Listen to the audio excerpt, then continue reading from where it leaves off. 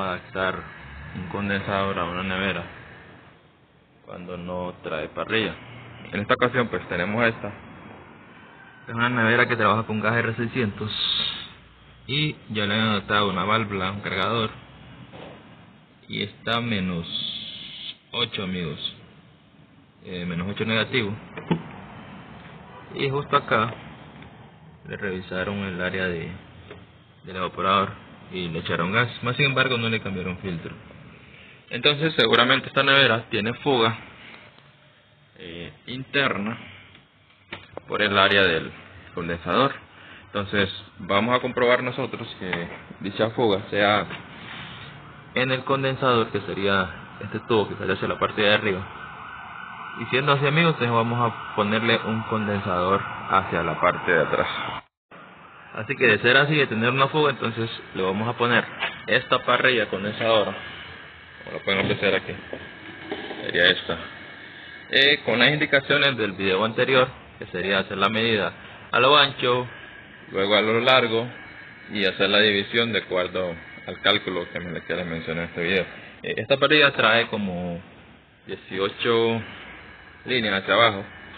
Ya lo ancho no la medí, pero ahorita la medimos para, para pasarles el dato. Bueno, aquí tenemos la parrilla que le vamos a montar a, la, a esta nevera. Eh, como les mencionaba, son 14 líneas. Aquí tenemos 2, 4, 6, 8, 10, 12, 14.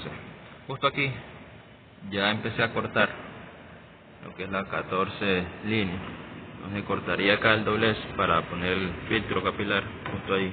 Entonces voy a terminar de cortar acá para luego montar la, la parrilla condensadora aquí en la parte exterior de la, de la nevera. Bueno, ya hicimos el corte de la parrilla, son 14 líneas hacia la parte de abajo como les había mencionado. Y le pusimos el ajuste ahí. Y acá eh, esto queda salido. Entonces tuvimos que doblarlo hacia la parte de adentro para que la, los laterales queden libres y esto va a quedar así como un poco salido hacia la parte de, atrás. Pues como en la parte de atrás no, no afecta. Simplemente hay que alinear a manera que quede bien. Ya acá aquí iría el filtro. Obviamente va filtro nuevo. Y entre el capilar. Y este lado pues esto iría directamente a la descarga del compresor. Así que Amigos, ya ahí está montada el evaporador, son 14 líneas por 51 centímetros de ancho. Así que ahí están las prácticamente los 7, 7 metros de, de tubería. Y vamos a soldar, unir y al final cargar gas para que puedan visualizar cómo queda trabajando.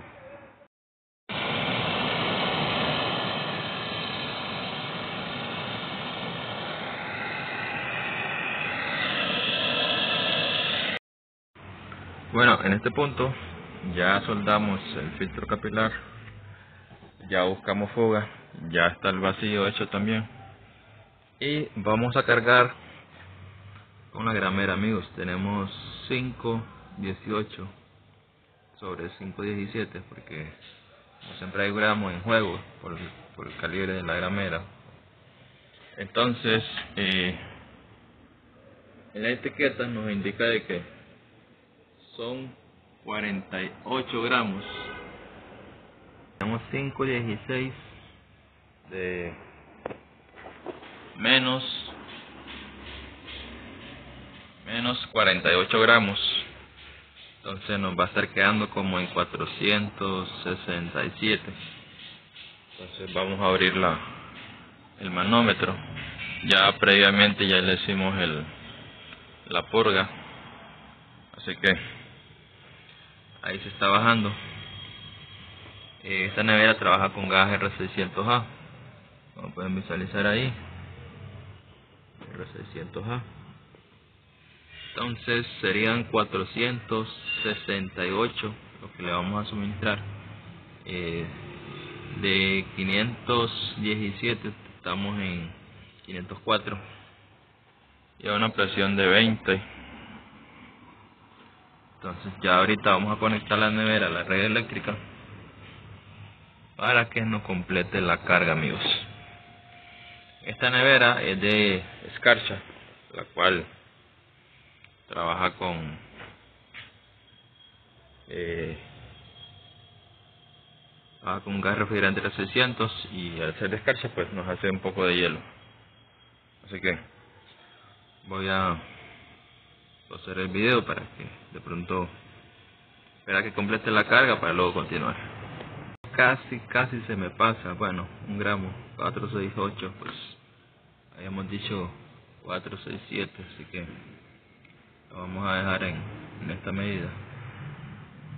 467 así que y, luego vamos a esperar que tal trabaja y, y al final verificar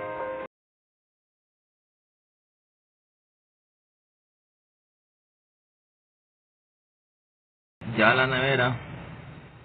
Ahí está lista ya. La tubería de retorno está sudadita.